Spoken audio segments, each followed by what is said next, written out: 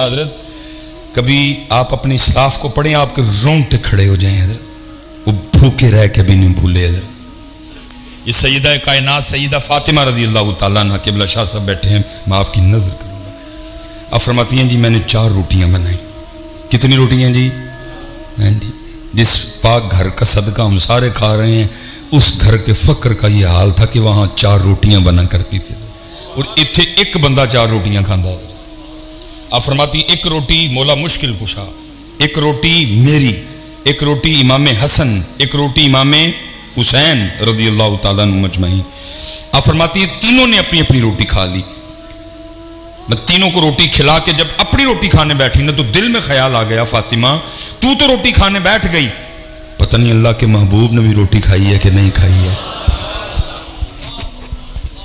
आप फरमाती, सारी नहीं, अपनी रोटी का आधा किया। उस पर थोड़ा सा सालन रखा। वो लेके अल्लाह के महबूब सलाम की बारगाह में हाजिर हुई। वो महबूब जो मदीना बैठ के अरशों की खबर दिया करते थे, ऐसा कोई महबूब होगा ना कहीं है। बैठा है चटाई पे, मगर अर्श नशी है। क्या क्या नहीं मिलता दो जहाँ को तेरे दर से? एक लफ्ज नहीं है कि जो तेरे लब पे नहीं है। सारा पता। कहते, मैं आधी रोटी लेके हाजिर हुई। वो मेरी आधी रोटी देख के दरियाफ्त फरमाया फातिमा, ये क्या? अर्ज़ की, अल्लाह के महबूब चार रोटियाँ बनाई थी। एक रोटी मोला मुर्तजा, एक रोटी इमाम हसन, एक रोटी इमाम हुसैन रज़ी अल्लाह तजमैन चौथी रोटी मेरी थी। तीनों अपनी अपनी खा चुके। जब मैं अपनी रोटी खाने बैठी तो दिल में ख्याल आ गया, फातिमा, तू तो रोटी खाने बैठ गई। पता नहीं अल्लाह के महबूब ने भी रोटी खाई है कि नहीं खाई? ये आधी रोटी अपनी रोटी में से लेके आपकी बारगाह में हाजिर हुई हूँ। कबूल फरमा ले। लिखे अल्लाह के महबूब सलाम की मुबारक आँखों में आँसू आ गए। फरमाया, फातिमा, चार दिन गुजर गए, तेरे बाबा के पेट में एक लुकमा भी नहीं गया है। लेकिन इतने क्या हुआ? कौम फंस गई रोटी में हज़रत कौम ने अपना सारा कुछ ही रोटी को बना डाला कौम का दिन रोटी, कौम का दोपहर रोटी, कौम की रात रोटी, कौम का मज़हब रोटी, कौम का मसलक रोटी है ये भी देखना जी, लंगर का बंदोबस्त है जी बात देखना जी, कितनी सोनी महफल है। कारी नफीक साहब ने कितना सोना कुरान पढ़ा। कितनी सोनी नात पढ़ी। सैयद साहब मौजूद है, उलमा का जम्मे गफीर है। लेकिन होगा क्या महफल के अंड पे? एक चावलों का शापर लेने के लिए हज़रत जी, हम सारा कुछ ही भूल जाएँगे। होगा कि नहीं होगा? होगा। हर माफल के अंड पे ही होगा। और वहाँ क्या है?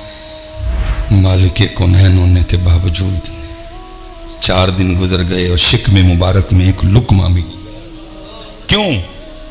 इसलिए कि कल मेरी कौम रोटी पे न बिके हज़रत मेरी उम्मत रोटी के लिए ईमान ना बेचे। है? लेकिन इतना पता जी, तरबूज मीठा है, ये भूल गया कि मीठा किया किसने? भूल गए ना जी हमें? इसीलिए तो हज़रत, एक बंदे ने पूरा पूरा तरबूज खा के कभी अल्हम्दुलिल्लाह भी नहीं कहा इतना सबको पता है हज़रत के आम के साथ कच्ची लस्सी भी नहीं है ये भूल गया कि आम खा के बाद में अल्हम्दुलिल्लाह भी कहना है। इतना सबको पता है, गाजर खाने से खून बनता है। ये भूल गया गाजर में ये सलाहियत पैदा किसने की है। इतना सबको पता है, सेब दिल के लिए ताकतवर होता है। लेकिन इतना ये भूल गया कि सेब में ये ताकत रखी किसने है। इतना सबको पता है आमला मेदे के लिए बड़ा ताकतवर है। इतना भूल गया कि मेदे आमले में ये ताकत रखी किसने? है ये भूल गया। ये भूल गया। नहीं, ये असल याद करने वाला सबक है। और, ये देखो ना असी तो बस उम्र ही लंगा छी हज़रत जी। जिन्होंने गौर किया, फिर उन्होंने लिखा भी। ये देखे ना मिसाल के तौर पे हज़रत। ये गुलाब का फूल इस सबज रंग की डोडी से निकला है। भाई, अगर ये सबज रंग की डोडी से निकला है तो फिर ये सुर्ख क्यों है? इसको भी तो सबज ही होना चाहिए था ना। ये कौन है जिसने सबज में से सुर्ख निकाला? कौन है? तो फिर हज़रत जी, जिस किसी ने इस पर गौर किया तो फिर जो जवाब मिला तो फिर वो लिखते क्या हैं?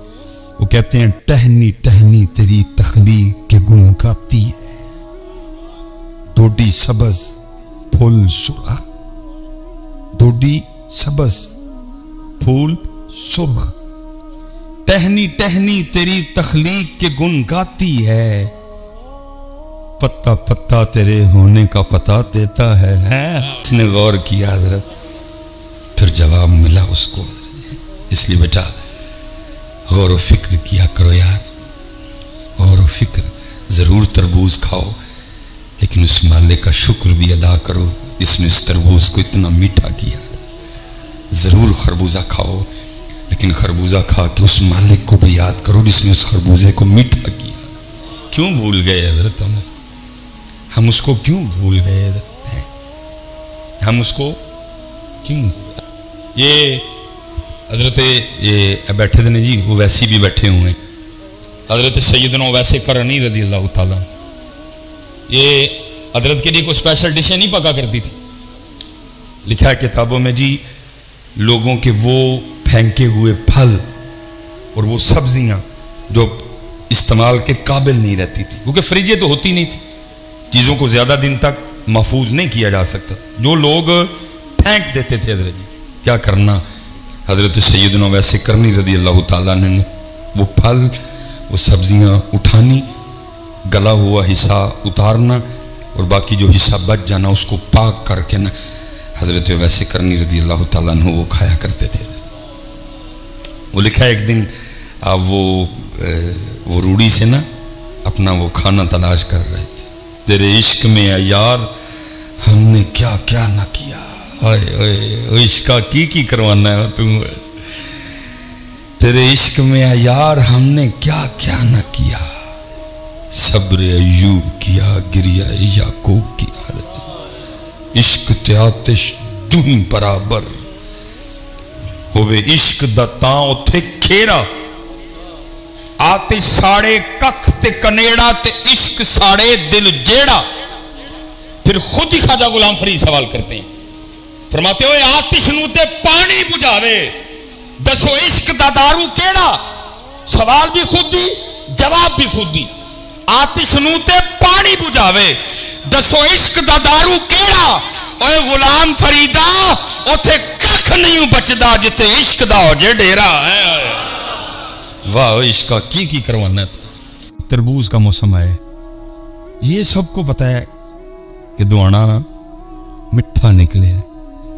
ये पता नहीं क्यों भूल गया कि दोना मिठा कीता किन्ने में हज़रत ये भूल गया। कि तरबूज मीठा किया किसने? ये सबको पता है खरबूजा मीठा निकला है। लेकिन ये भूल गया कि खरबूजा मीठा किया किसने अब? ये हम कहेंगे ये आम बड़ा मीठा निकला है। लेकिन ये भूल गया कि आम मीठा गौर करो यार, किसने किया तो जब आप गौर करोगे तो फिर एक ही जवाब आएगा, कोई तो है जो निज़ाम हस्ती चला रहा है। वही खुदा है, वही खुदा। और मैंने कहा, ना, हज़रत बड़ी तफसीलन गुफ्तु हो सकती है। मियाँ साहब ने बड़ा गौर फ़िक्र किया। हम चस्के ले रहे हैं। पढ़ने वाला भी चस्के ले रहा है, सुनने वाला भी चस्के। मिसाल के तौर पे मियाँ साहब ने लिखा है, अब फरमाते हैं, कुदरत थी जिस बाग बनाए, जग संसार तमामी। रंग बिरंगी बूटे लाए, कुछ खासे, कुछ आमी। अब जरा आगे सुनना मियाँ साहब क्या कह रहे हैं कितना तफक्र था मियाँ साहब का। क्या कहते हैं? फरमाते हैं, इक ना दे फल, मिठे कीते, पातों ना दे कूड़े।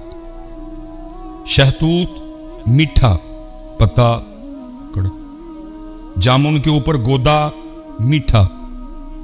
जिटक गुठली आम के ऊपर गोदा मीठा। छिलका ये कौन है हज़रत? जो शहतूत को मीठा कर रहा है और पत्ते को कड़वा कर रहा है। कौन है? तो जब हज़रत आप पूछेंगे ना तो आपको आपके अंदर से ही एक जवाब आएगा। क्या कोई तो है जो निज़ाम हस्ती चला रहा है। वही खुदा है, वही खुदा। तलाश इसको न करबुतों में, वो है बदलती हुई रुतों में, जो दिन को रात और रात को दिन बना रहा है। वही खुदा है, वही खुदा। नज़र भी रखे, समाते भी, वो जान लेता है, नीयतें भी। जो खाना लाशूर में जगमगा रहा है वही खुदा है वही